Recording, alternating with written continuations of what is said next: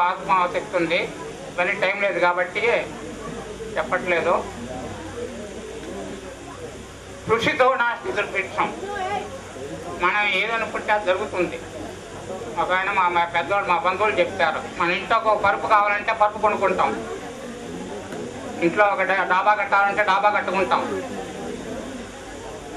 ఒక అమ్మాయిని పెళ్ళి చేసుకోవాలంటే ఇంకో అమ్మాయిని చేసుకుంటారేమో తర్వాత సంగతి అది. తర్వాత ఇట్లా కృషితో నా దుర్భిక్షం కష్టపడాలి పైకి రావాలి. ఇది అట్లా సత్యం వద ధర్మం చెర. అధర్మం ఆడక చేయకుండా అబద్ధం ఆడాల్సిన పని లేదు మనకి. ఎదురైనా గీతం వస్తుంటే అబద్ధం ఆడాల్సిన పని మనకి. కష్టపడి పనిచేసి కష్టపడి పనిచేసి ఎదురైనా జీతం వస్తుంటే అబద్ధం ఆడాల్సిన అవసరం లేదు. కొంతమంది ఊరికే నవ్వుతూ అబద్ధాలు ఆడుతుంటారు. దానివల్ల ఏమవుతుందంటే మనకి వాపుకి శక్తి ఉంటుంది. అన్నిటికీ శక్తి ఉంటుంది. వాపుకి శక్తి ఉంటుంది. అబద్ధం ఆడకపోతే ఆ వాకుకి వాళ్ళు అన్న మన పూర్వం తెప్పించేవాళ్ళు వాళ్ళు. మాస్టర్లు ఎట్లా తెప్పించేవాళ్ళు? వాళ్ళు అబద్ధం ఆడేవాళ్ళు కాదు. అందుకని వాళ్ళు అన్నమాట అయ్యేది. అట్లా అదే మాదిరిగా సత్యం వల్ల అధర్మం ఆచరించద్దు. ఎవరిని బాధ పెట్టకుండా. చాలా సంతోషం. ఇవాళ ఇక్కడ రాగానే నాకు అనిపించింది. ఇప్పుడు భార్యాభర్తలు ఇద్దరికి కలిసి ఉంటారు పోట్లాట్లు వస్తాయి. తల్లిదండ్రులు కూడా ఒకప్పుడు నాకు ఆస్తి సరిగ్గా ఇవ్వలేదని తల్లిదండ్రులు కూడా దూషిస్తాం. కానీ ఎప్పుడో తొంభై తొంభైలో ఉన్న విద్యార్థులు మీరు గుర్తు పెట్టుకుని మమ్మల్ని ఇలా గెట్ చేసినందుకు చాలా సంతోషం. మీకు అన్ని విధాల మేలు జరుగుతుందని ఆశిస్తూ ఇచ్చినటువంటి నాతోటి మిత్రుడికి నమస్కారం. అది మనం ఏ ఏ రంగాల్లో ఉన్నా ఏ ఏ పదవులో ఉన్నా ముఖ్యంగా మనకి చెప్పిన దాన్ని మన మనస్సాక్షిగా ఆచరించడమే దాని ఫలితం మనకు తెలియకుండా తప్పనిసరిగా ఉంటుంది. ఏ వృత్తిలో ఉంటే ఆ వృత్తికి న్యాయంగా తనకు వచ్చినంతలో ఆ న్యాయంగా ఆ వృత్తికి ధర్మం చేసినటువంటి న్యాయంగా ఆ వృత్తికి మనం పాటించినట్లయితే దాని ఫలితం మనకి తప్పనిసరిగా ఉంటుంది. మంచి మనసు ఉన్నప్పుడు మంచి మార్గమే మనకి దైవం నిర్ణయించేస్తుంది దాని గురించి అసలు ఆలోచనే లేదు. ఇక్కడ ఈ ఈ సుమతి మంచి మనస్సు కలిగినటువంటి వ్యక్తులు ఆ మంచి మనస్సు ఎప్పుడైతే ఉంటుందో మనకి ఈ పరమార్థమైనటువంటి ఇటువంటి కార్యక్రమాలు చేయాలనే ఆలోచన వచ్చేస్తుంది. నాకు ముఖ్యంగా ఈ గ్రామానికి ఈ స్కూల్కి అసలు విడదీరానటువంటి బంధం ఉన్నది దానికి కారణం ఏంటంటే మా ముగ్గురు పిల్లలు ఈ ఈ స్కూల్లోనే చదువుకున్నారు ఆరు నుంచి టెన్త్ వరకు. ఇక్కడ ఉన్నటువంటి వాళ్ళ మిత్రులు మంచి మనసు గల వాళ్ళు కాబట్టి మా పిల్లలు కూడా వాళ్ళు మంచి స్థితిలోకి వెళ్ళారు.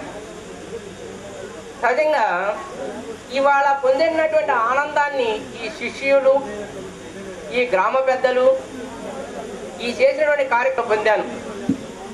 ఈ స్కూలు యొక్క శిష్యు వల్ల మేము ఒక వ్యక్తిని చెప్పచ్చినప్పుడు అనురాధ గారి అక్కాయి అనురాధ గారి చెల్లి అని ఈ రెండు మాటలు మా ఇంట్లో ఎందుకు వాడుతూ ఉంటాం?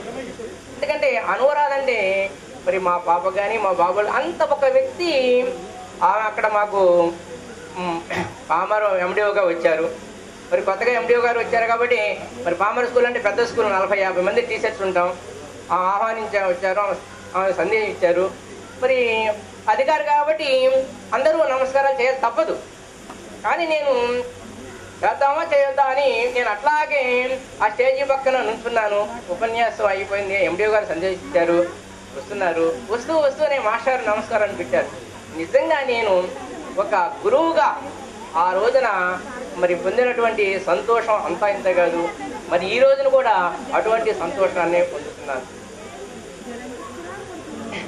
ఇప్పుడు మనం రకరకాల స్టేజీలు ఉండి ఈ జీవితంలో మరి ముఖ్యంగా మరి గురువును మించిన తండ్రి మించిన బిడ్డలు. మరి మన బిడ్డలు మన యొక్క మనస్తత్వాన్ని ఎప్పుడు జరుగుతుంది. దానికి అసలు దాని నిర్ణయం లేదు. మనం చెప్పింది ఒకటి చేసేది ఒకటి అయితే దానికి ఫలితం సరైనటువంటి ఫలితం రాదు. మరి తండ్రి తనకు మించిన బిడ్డలు అయినప్పుడు ఆ సంతోషం వేరు. నేను ఆ విషయంలో పూర్తిగా సంతోషం ఉన్నాను దానికి సమస్య లేదు.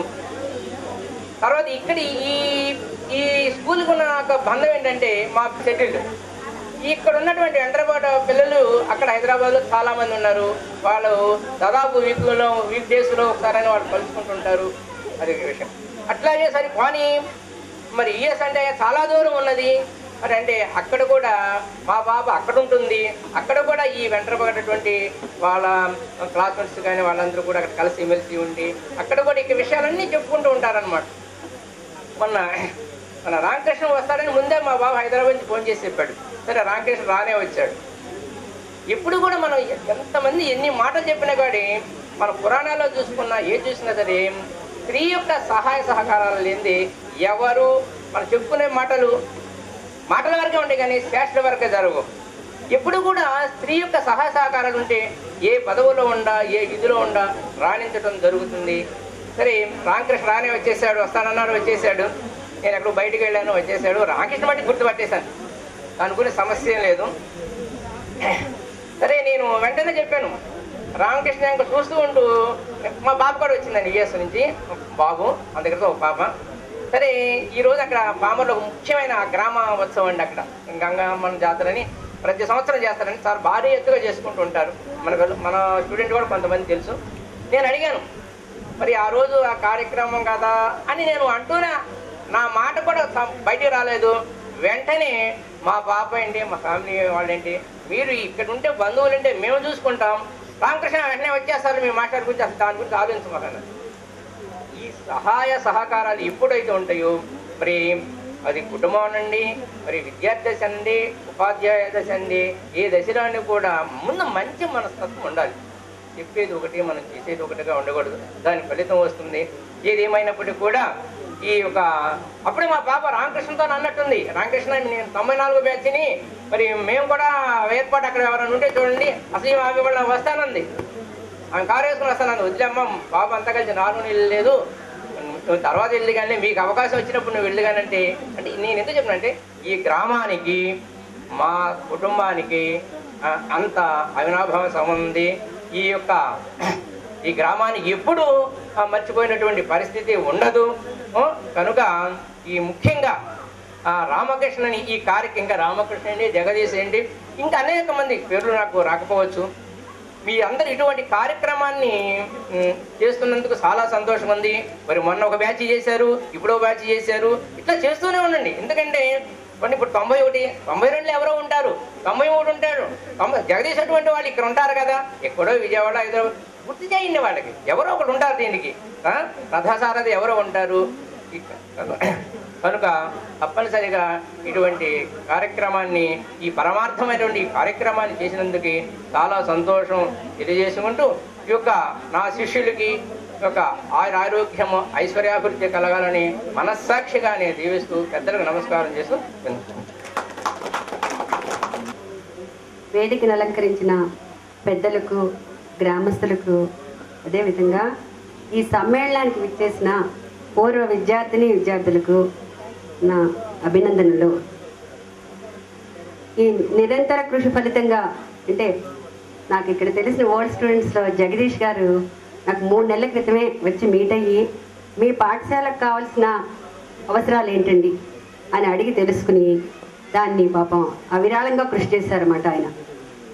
దాంట్లో దేనికి వెనకం చేయకుండా ఆయన ప్రతిదీ నాణ్యతను పరిశీలించి ఇది చిరస్మరణీయంగా ఉండాలి మేము చేసిన సేవ మా పాఠశాలకు గుర్తింపుగా ఉండాలి అని చాలా కష్ట నష్టాలకు ఓర్చి ఎంతో శ్రమ కోర్చి ఆయన అవిరాళంగా కృషి చేశారన్నమాట. అదేవిధంగా దీనికి చేయూతనిచ్చిన ఎన్ఆర్ఐలు శ్రీ శివరామకృష్ణ ప్రసాద్ గారు అదేవిధంగా జి శ్రీనివాసరావు గారు ఇంకా తదితరులు చాలామంది సభ్యులు చెప్పారన్నమాట. ఇంకా ఏడుగురు ఉన్నామండి మేమే కాకుండాను. ఇందులోనూ వీళ్ళందరూ చాలా సహాయ సహకారాలు అందించారని చెప్పారండి.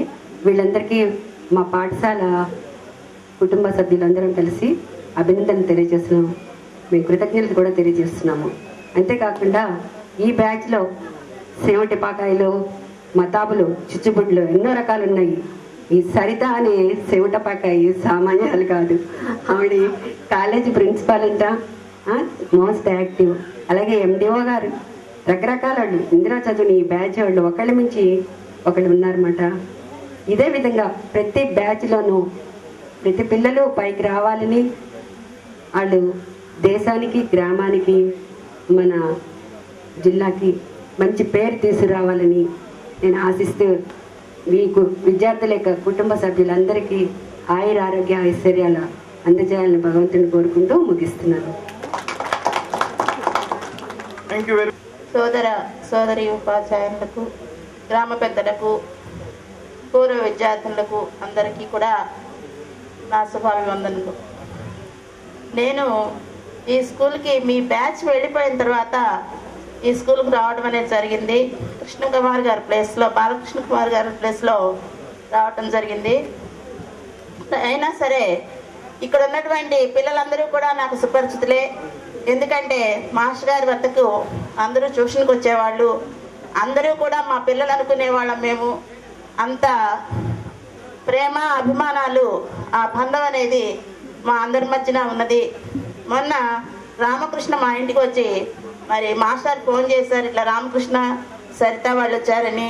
సరిత అనగానే కబక్కన గుర్తొచ్చింది సరిత ఎందు ఎట్లా? ఆ టోన్ వినేటప్పటికే నువ్వు సరితవా అమ్మా? అన్నా నేను. అట్లా ఒక్కొక్కరు టోన్స్ బాయ్స్ హై స్కూల్ హెచ్ఎంగా బాధ్యతలు నిర్వహిస్తున్నాను ప్రస్తుతం. సరే ఇవాళ సండే కాబట్టి అనుకోకుండా నిన్న విజయవాడ రావడం ఇక్కడ రావడం అనేది జరిగింది.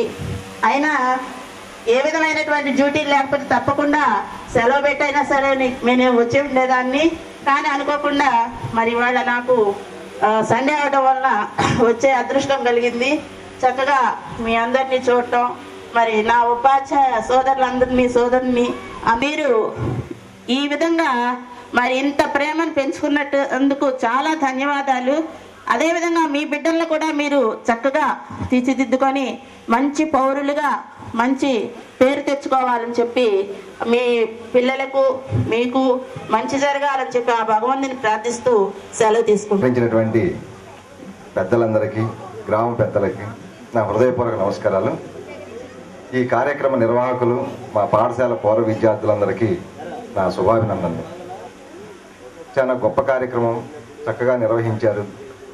జీవితంలో మీరందరూ చక్కనటువంటి ఒక సెటిల్మెంట్లో ఉన్నటువంటి మీరందరూ కూడా మా వృత్తి ధర్మంగా మేము చేసినటువంటి కార్యక్రమానికి పట్టాలని లేదు మేము చెప్పినటువంటి క్రమశిక్షణని మేము చెప్పినటువంటి విద్యాబుద్ధుల్ని మీరు గుర్తుపెట్టుకుని మాకు మీరు ఈరోజు చక్కటి సన్మానం చేశారు.